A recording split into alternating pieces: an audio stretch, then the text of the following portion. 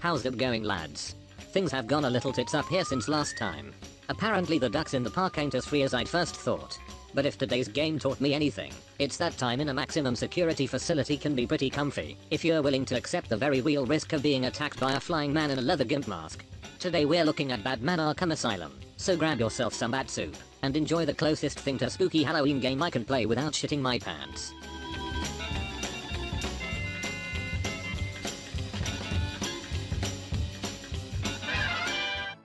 Batman Arkham Asylum is an action game, with a mix of combat and stealth elements. You play the titular Santa Claus of blunt force trauma himself, exploring the grounds of Arkham Asylum, and attempting to dangle as many people convicted of tax fraud from high places as possible. Arkham Asylum has a very unique fighting system, centered around building up combos through attacking and countering. These attacks can be chained across multiple enemies, with extra upgrade points awarded for varying attacks. Some enemy types require use of certain moves in order to damage, so there's actual strategy in the combat, and it manages to avoid the button mashing and carpal tunnel that games like this can suffer from.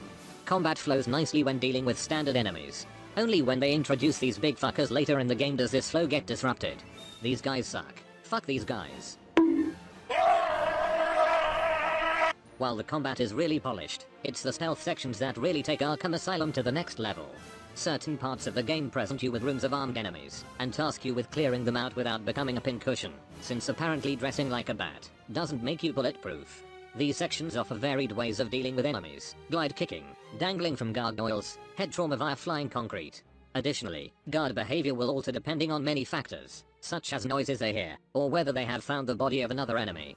It all works together really well, and is pretty damn fun.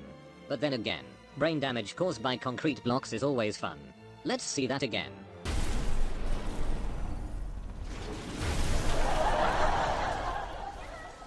This would be enough for most games, but Arkham Asylum goes all out, setting the standard for future titles about men in tights.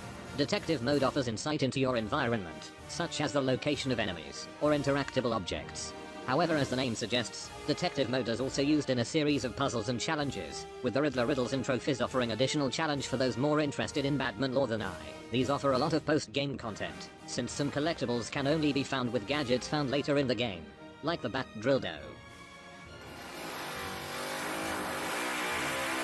For a game that's 11 years old, the graphics are decent. The environment captures the Docker Batman style perfectly, but manages to avoid having each environment feel too similar. This also carries over to the design of enemies and bosses. Each iconic character is designed in that they are instantly recognizable, but don't go full Batman and Robin and end up looking silly. The story is one aspect where the game falls down though. While an interesting premise, the plot kinda burns out over time, with the end feeling like a bit of a letdown compared to how strong the game starts. Overall, Batman Arkham Asylum is a great game. Its gameplay and presentation hold up impressively for a game released 11 years ago, and it's understandable that other superhero games are compared to this title. While the story does peter out by the end, it's still worth experiencing, whether you're a big fan of the character or not. Anyway I'm gonna go now. Later fuckers. Shit.